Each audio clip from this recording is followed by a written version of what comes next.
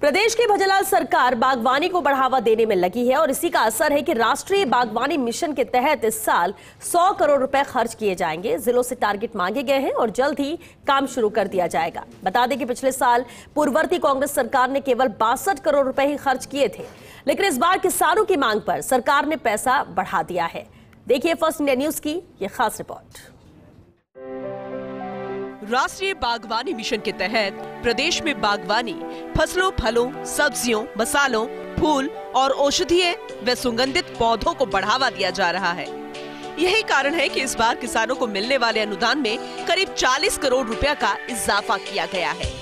केंद्र की Mission for Integrated Development of Horticulture के तहत मिली स्वीकृति में राजस्थान सहित नौ राज्यों में 100 करोड़ रुपया या उससे ज़्यादा खर्च होंगे।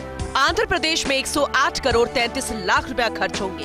वहीं बिहार में छियासठ करोड़ सड़सठ लाख रुपया, छत्तीसगढ़ में 108 करोड़ 33 लाख रुपया, गोवा में 6 करोड़ सड़सठ लाख रुपया, गुजरात में 116 करोड़ सड़सठ लाख रुपया, हरियाणा में इक्यानवे करोड़ सड़सठ लाख रुपया खर्च होंगे, झारखंड में 50 करोड़ रुपया खर्च होंगे, कर्नाटक में 133 करोड़ 33 लाख रुपया, केरल में छियासठ करोड़ सड़सठ लाख रुपए मध्य प्रदेश में 100 करोड़ रुपया खर्च होंगे तो वहीं उड़ीसा में 75 करोड़ रुपया खर्च होंगे।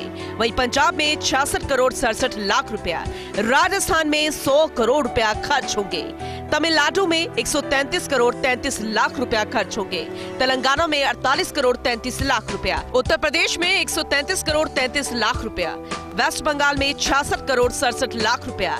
अरुणाचल प्रदेश में 33 करोड़ 33 लाख रुपया। आसाम में 50 करोड़ रुपया खर्च होंगे। वहीं मणिपुर में 33 करोड़ 33 लाख रुपया। मेघालय में 27 करोड़ 78 लाख रुपया। मिजोरम में 33 करोड़ 33 लाख रुपया।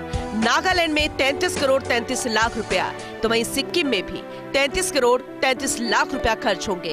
त्रिपुरा में भी 33 करोड़ 33 लाख रुपया, हिमाचल प्रदेश में 33 करोड़ 33 लाख रुपया तो वहीं उत्तराखंड में भी 33 करोड़ 33 लाख रुपया खर्च होंगे। जम्मू कश्मीर की बात करें तो 45 करोड़ छप्पन लाख रुपया खर्च होंगे। पुडुचेरी में एक करोड़ पच्चीस लाख रुपया तो वही दिल्ली में 50 करोड़ रुपया, लद्दाख में 25 करोड़ रुपया तो वही लक्षद्वीप में 40 करोड़ रुपया खर्च किए जाएँगे। वहीं राष्ट्रीय बागवानी मिशन के तहत किसानों को अनुदान राशि मिलेगी। फल बगीचा स्थापना, सघन फलोद्यान की स्थापना, सामान्य फलोद्यान की स्थापना, फूल उत्पादन, पुराने बगीचों का जीर्णोद्वार संरक्षित खेती संवित कीट, पोषक तत्व प्रबंधन, जैविक खेती, मधुमक्खी पालन, उद्यानिकी में यांत्रिकरण, मानव संसाधन विकास कार्यक्रम के लिए अनुदान राशि मिलेगी। प्रदेश में राष्ट्रीय बागवानी मिशन को लेकर बड़ी बात ये है कि बागवानी से जुड़े अधिकतर कार्यक्रमों में किसान को कुल लागत का 40 से 50 प्रतिशत अनुदान दिया जा रहा है, ताकि किसान को ज़्यादा से ज़्यादा फ़ायदा हो सके। देखने वाली बात यह है कि इस साल अच्छे मानसून की आस में किसान बागवानी पर ज़्यादा ध्यान देगा और अच्छे उत्पादन की उम्मीद रहेगी। राष्ट्रीय बागवानी मिशन के तहत राजस्थान के किसानों को इस बार करीब 100 करोड़ का अनुदान दिया जाएगा। जी हाँ ये पहली बार हुआ है भजनलाल सरकार में 100 करोड़ का अनुदान मिलेगा। इससे पहले पूर्वती कांग्रेस सरकार ने बासठ करोड़ का अनुदान दिया था।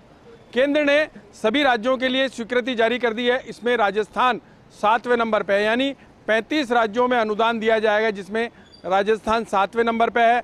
और इस बात को लेकर किसान खुश है कि इस बार मानसून की मेहर बरसेगी और बागवानी में भी अच्छा मुनाफा होगा। कैमरामैन यश के साथ Vinod Singh Chauhan, First India News Jaipur.